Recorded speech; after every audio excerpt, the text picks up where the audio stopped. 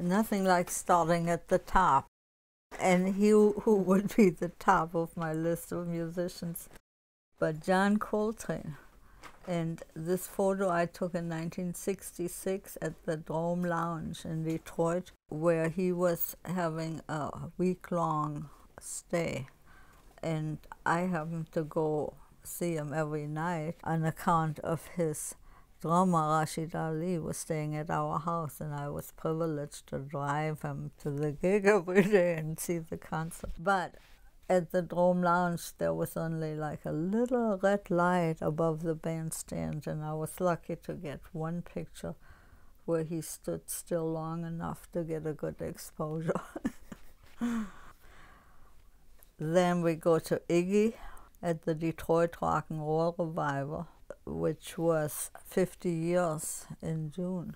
And Iggy, he was on, on the roster, but he is backstage whispering something to this girl, but who knows what. then we have John Lennon and Yoko Ono at the John Sinclair Freedom Rally at Chrysler Arena in Ann Arbor, Michigan.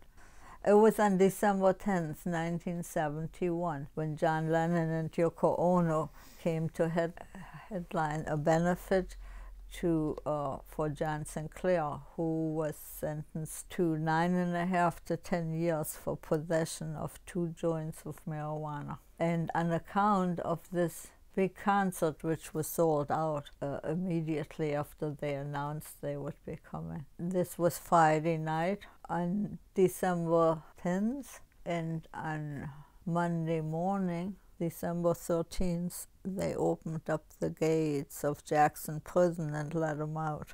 Three days later, he oh, was two and a half years, and even John Lennon, he could relate to it because he had been convicted of possessing marijuana or hashish in London at a hotel room, you know, so he was sympathetic. So that's how that happened a picture of the members of the White Panther Party commune at 1520 Hill Street in Ann Arbor, Michigan in 1970. What's interesting about this, one of the White Panthers is uh, Hiawatha Bailey, an African American, and he just, you know, I think of it, he wouldn't have lasted one day in the macho Black Panther Party because he was gay and he was a hippie and he fitted in better with the White Panther Party than the Black Panther Party. So we didn't discriminate on account of color. then we have this uh, picture of Fred Smith, guitar player for the MC5 in East Lansing, Michigan in 1969, where he is like waving his guitar way high in the air probably with a lot of feedback. you know. Well, here we have one of my favorite photos of all time. It's a poem for Medgar Evers, uh, who had just been assassinated like two or three weeks before this picture was taken, and somebody had written a poem and printed it on, I think it's the back of a truck. I can't really tell where it is, but it's an incredible poem uh, about the death of Medgar Evers, taken on August 28th, 1963, on the March on Washington. Then we have Women for Peace demonstration along Woodward Avenue in Detroit, Michigan. And the Women for Peace were famous for killing uh, these uh, skulls, you know, reminding people that war is not good for people, you know. anyway, they were marching down Woodward on a cold day. And right underneath it is a picture of Detroit police officer on horseback. And they were called the demonstration detail because they were always looking for people to arrest at a demonstration, if people went out of line or their provocateurs, they would be right there on their horses to arrest people in the crowd. Marion Brown in Toronto in 1965. Marion Brown was the sax alto saxophone player who recorded with John Coltrane, but he also made records on, on, under his own name. And he was kind of a friend of the family. We had met him years before, well, in, in New York, and he came to Detroit performing. We named our oldest daughter after him. Marion Sunny Sinclair. Sunny is for Sun and Marion is for Marion Brown.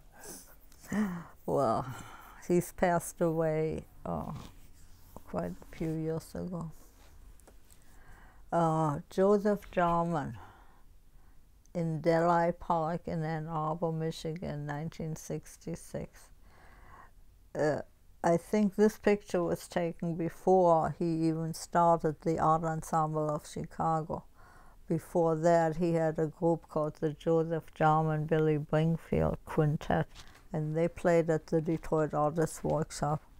We had an out outing in the park one afternoon, and he played saxophone in the woods. And we have a picture of the MC5 at Community Arts Auditorium at Wayne State University in June of 1967. This was a famous concert where the MC5 uh, played with Sun Ra, and it was a, a phenomenal concert because that's one of the, the first time Sun Ra had played in Detroit. And the MC5, uh, they were all dedicated to avant-garde jazz partially because John Sinclair was their manager and he made sure they listened to Sun Ra and they loved it. Yeah. Oh, Lyman Woodard. Lyman Woodard is one of the greatest unsung heroes of Detroit. If he had left like so many other musicians and went to New York, he could have made a big name for himself. In fact, his first record is called Saturday Night Special. Every time you hear it on the radio, it feels like a classic from a long time ago, you know, that is timeless. You know, he played the Hammond B3 organ, and um, he passed away a few years ago, too. B.B. King at the Ann Arbor Blues and Jazz Festival in Exile in Windsor, Ontario, 1974. Uh, this was in exile because in Ann Arbor, the Detroit City Council had been taken over by the Republicans again, and they refused to give us a permit to hold the Blues and Jazz Festival in Ann Arbor because it brought in too many undesirables. And so uh, we, uh, we, at the last minute, a few weeks before the date, the University of Windsor offered us to have it there. It was a total financial disaster, and the police at the border arrested about 200 people for weed trying to go to a festival with a few joints, and then they end up in jail. Oh, those were the good old days. I mean, the bad old days. Mm. yeah. Then we have Marvin Gaye at the University of Detroit Field House. It was one of those early cool jazz festivals, and the other people on the show were Smokey Robinson. Then we have Sun Ra at the Savoy Ballroom in the Fort Shelby Hotel, 1974. No words needed. If you know Sun Ra, you'll love this picture. Sun Ra, the musician from outer space. He wouldn't tell people when he was born because he said, if you were born, you'd die, and I'm never going to die. I'm from outer space, you know. He had this great myth about him, but he had some incredible musicians that were so loyal and dedicated to him, like Pat Patrick, who stayed with him for 30 years. Every time Sun, Sun Ra played somewhere, it was a visual delight along with the music. The whole band always dressed up in fancy costumes and glittering head. You know, there was part of the band was more than just a band. You know, they were outrageous and they pissed people off and some of them loved him very much, you know. and the people that loved Sun Ra very much are increasing now by the day. The, the longer he's dead, he's like, you know, more popular than ever. Here is a picture of Fela at Orchestra Hall in 1986. However, that's a mistake. I found out later that it was not at Orchestra Hall, it was at the Fox Theatre. And there's even a recording made of that night at the at, at the Fox Theatre with people yelling, Fela, Fela. I think one of them might have been me. but I got this really nice picture of him waving his fist in the air which is now iconic in Lagos, Nigeria. You see it everywhere on billboards and flags and T-shirts. They love my picture there. Not too many people in America know who Fela was, you know. And um, since they used my photograph as a, a for a photo illustration for the movie Finding Fela without my permission, I got a trip to Lagos, an all expense paid trip to Lagos, and I saw all these musicians. And then his daughter, Yenny Lane, said that her dad, Fela, had seen this picture and I always wondered who took it. And there was little me. Then we have Charles Mingus at the Rainbow Room at the Fort Shelby Hotel which actually was the same venue as the Savoy. We just changed the name when new ownership came about or ma management came about. Well, Charles Mingus, one of the genius, a bassist, one of the genius musicians and band leader. Was lucky to get this nice of him, yeah. And Thelonious Monk and Ben Riley at Cobo Hall in 19, January 1967.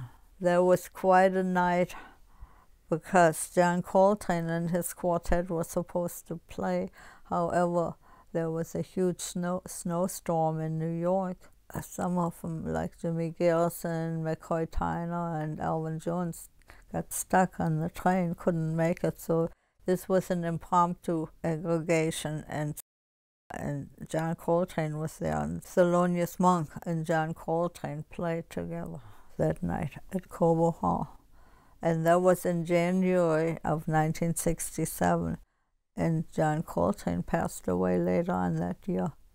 Uh, Allen Ginsberg, Charles Olson, and other poets at the Berkeley Poetry Conference in 1965 it was a very famous conference because almost all the great poets were there gathered. And in this picture, this happens to be a double exposure, an unintentional double exposure, which shows Allen Ginsberg and Charles Olson sitting there in the cafeteria eating some lunch.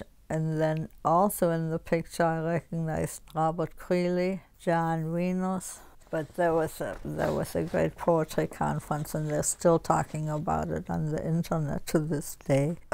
what a decisive conference there was. And we traveled from Detroit to Berkeley because uh, Ed Sanders was one of the uh, poets at the conference, and he had invited John Sinclair to read poems there too. So we drove to California.